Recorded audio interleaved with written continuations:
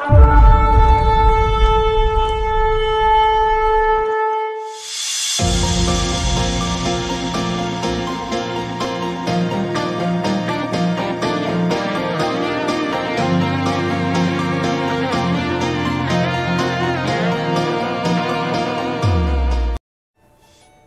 to today's episode, brethren. Do you know that whatever you desire, whether it's for your ministry, for yourself, family, business, it can all be found and pulled out from within you? In today's article, the 11th of June, Pastor Chris admonishes us to bring forth good things. Let's take a look at Philemon chapter 1 verse 6. The Bible says that the communication of thy faith may become effectual by the acknowledging of every good thing which is in you in Christ Jesus. The Bible says in Matthew chapter 12 verse 35, a good man out of the good treasure of the heart bringeth forth good things, and an evil man out of the evil treasure bringeth forth evil things. You see, the good things you're expecting to happen are actually inside you. Bring them forth. There's no point saying, "Oh Lord, bless please bless my business. Please give my family more favor." No, he's already did everything he was supposed to do. The Bible says in Hebrews chapter 4 verse 3, the works were finished from the foundation of the world. Just enter into that which has been written concerning you. The Bible talks about good things that are in you in Christ Jesus. Let's take a look at our opening scripture again. It says that the communication of thy faith may become effectual by the acknowledging of every good thing which is in you in Christ Jesus. What God expects is for you to step into which has already been written concerning you by declaring, I have only good things inside me and from within me I produce good things. So I'm a package of good things. When I arrive, good things starts happening.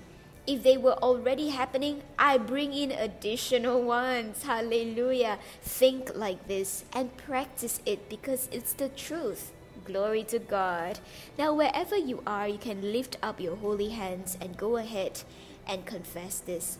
Say, I bring forth good things today from within me. And in all that I do, I exude excellence, perfection, and righteousness.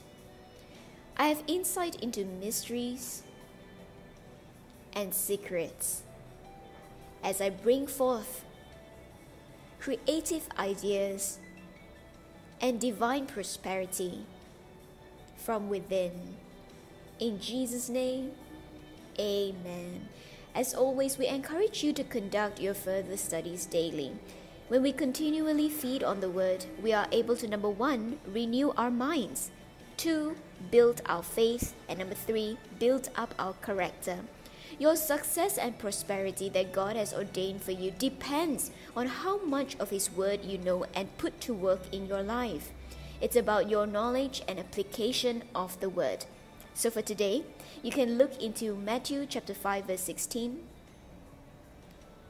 Matthew chapter 12 verse 35, and Ephesians chapter 2 verse 10. Thank you for tuning in today, brethren. If you would like a physical copy of the Rhapsody of Realities, kindly email us at tni msia at gmail.com and we'll guide you on how you can acquire one. Email us at the same email address if you're interested in translation work or sponsoring the Rhapsody of Realities. Praise God. May the Lord increase you more and more. In Jesus' name, amen.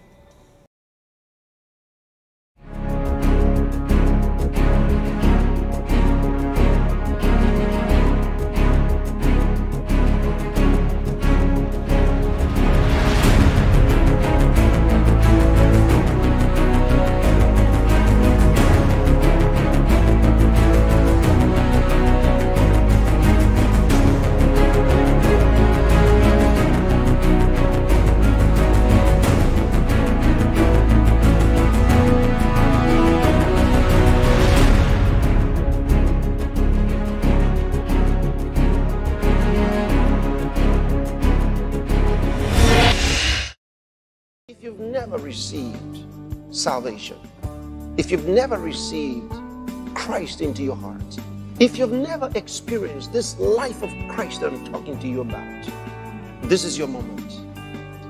Say these words. Say, Oh Lord God, I believe in Jesus Christ, the Son of God. I believe He died to save me. I believe God raised Him from the dead and He's alive today. I confess with my mouth Jesus Christ is Lord of my life from this day. And by my faith in Him, I receive eternal life into my heart, into my spirit. Thank you, Lord, for saving my soul. I have eternal life now. I'm a child of God now. I am born again. Thank you, Lord. If you just said that prayer along with Pastor Chris, congratulations. Welcome to the family of God. Rhapsody of realities, giving your life a meaning every day. My life made perfect with Rhapsody.